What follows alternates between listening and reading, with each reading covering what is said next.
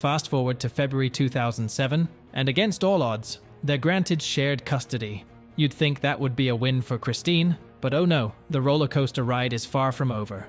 In August 2007, David drops the bomb. He's taking the girls to Disney with his mum, Lenore.